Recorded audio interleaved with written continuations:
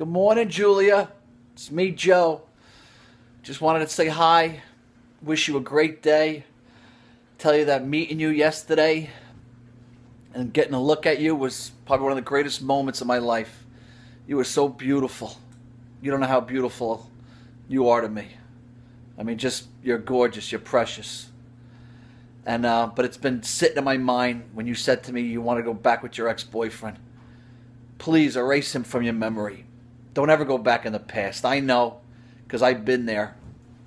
And I understand when, you know, you're trying to find somebody and you go on dates and nothing compares to your ex. But there is that better person out there. And Julia, I promise you it is me. I will love you like you've never been loved before. I will cherish you. I'll make you f- feel like a woman, a real woman. And believe me, after you experience me, you won't even know who your ex boyfriend is. So, open up your heart to me in your arms. Let's go full throttle.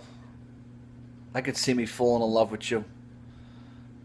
It just, I don't know, I just looked in your eyes and I just melt. Anyhow, I'm heading off to work. This is my cute little home. Everything you see behind me, I built everything. Every square inch from crown molding to chair rail to floors to lighting to plumbing, doors, windows.